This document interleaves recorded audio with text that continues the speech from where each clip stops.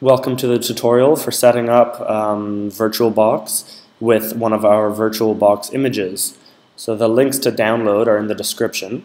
Um, but what this is is a, an image that is specific to VirtualBox, a .vbox and a .vdi, and we can mount those in here. They're already pre-set up, so a really quick install. There's the two options, the NuGrid or Nubuntu Furnished and the Nubuntu Lite. Um, difference being that Ubuntu Lite doesn't have the pre-downloaded SVN tree or any pre-compiled code. So in this one, I'm going to set up one of them. Let's see, machine and add. And you navigate to wherever that downloaded VBox is. So I'll set up Ubuntu Lite. You click open. It may say that you don't have a CD drive if you don't have a CD drive, which is okay, so I'll ignore that. And you can see here, I have it pre-dedicated to 2 gigabytes of RAM. Um, if that's a bit much for you, you can just go to your settings, and you can change that. So this is how much RAM you have. Your processor, you can control how many CPUs. It seems to be running well with one CPU, so I'm happy with that. Um, oh, but maybe I'll give it a little bit more video memory. Let's see, what I want to give it? How about that?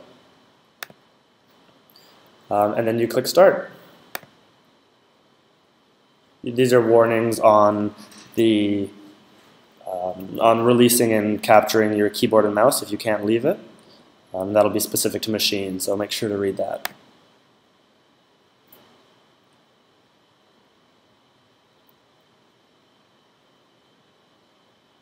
And again.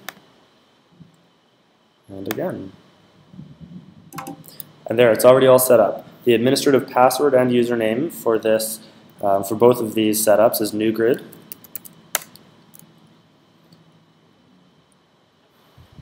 And the last part of setup is if you want to be able to change resolutions, what you need to do is go up to Devices and click Install Guest Additions.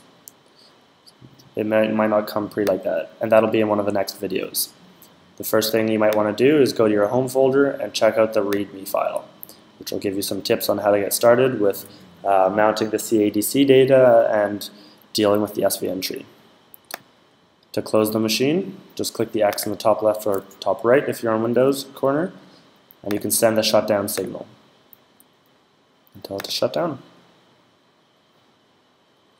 There we go. Thanks for watching.